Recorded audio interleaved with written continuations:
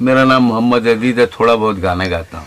मंगलवार को सूर्य के बादशाह मोहम्मद अज़ीज़ का चौसठ वर्ष की उम्र में निधन हो गया। बता दें कि मोहम्मद अज़ीज़ कोलकाता से मुंबई एयरपोर्ट पर उतरे ही थे कि अचानक उनके सीने में दर्द हुई। ड्राइवर ने उन्हें नानावती हॉस्पिटल ले गया, जहाँ के डॉक्टरों ने उन्हें मृत घोषित कर दिया। उनके निधन पर बॉलीवुड के कई सितारों ने शोक व्यक्त किया है। गायिका लता मंगेशकर ने ट्वीट कर लिखा, गूढ़ी, गायक और बहुत अच्छे इंसान मोहम्मद अज़ीज़, जिन्हें हम मुन्ना भाई कहते थे। उनके निधन का समाचार मुझे मिला। जिसे सुनकर मुझे बेहद दुख हुआ। ईश्वर उनकी आत्मा को शांति प्रदान करे। नावियत जाफरी ने भी ट्वीट कर शोक जताया। उन्होंने लिखा, महान सिंगर मोहम्मद अज़ीज़ साहब का निधन हो गया। उनकी आत्मा को शांति मिले।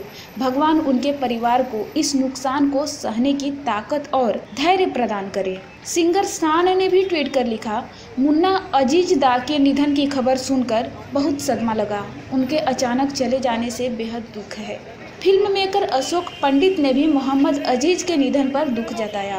बता दें कि अज़ीज़ का जन्म साल उन्नीस सौ चौवन में पश्चिमी बंगाल में हुआ था। अज़ीज़ ने हिंदी फ़िल्मों के अलावा बंगाली, उड़िया और अन्य क्षेत्रीय भाषा की भी फ़िल्मों में प्लेबैक सिंगिंग किया। अज़ीज़ मोहम्मद रफ़ी के बहुत बड़े फ़ैन थे। उन्हें अनु मलिक ने बॉलीवुड में बड़ा ब्रेक दिया। अमिताभ बच्चन की फ़िल्म मर्द के टाइटल सॉन्ग मैं हूँ मर्द तांगे वाला से अज़ीज़ रातों रात हिंदी प्लेबैक सिंगिंग में सुपरस्टार बन गए। बाद में अज़ीज़ ने कई फ़िल्मों के हिट गाने गाए। मोहम्मद अज़ीज़, अमिताभ बच्चन, गोविंदा, मिथुन चक्रवर्ती और ऋषि कपूर सहित बॉलीवुड के कई दिग्गज कलाकारों की फ़िल्मों में अपनी आवाज़ दे चुके हैं। अज़ीज़ ने बीस हज़ार से ज़्यादा गानों को अपनी आवाज़ दी है।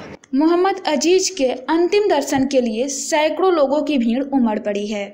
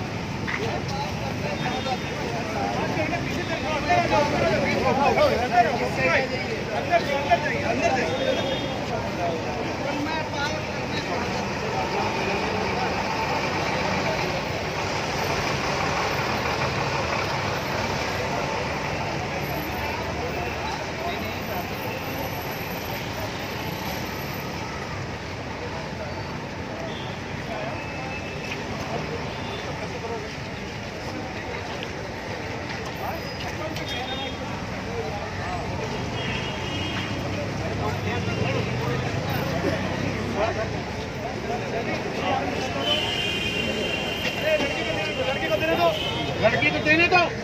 कर रहे हो? आराम से। आराम से आराम से। आराम से। आराम से। करो।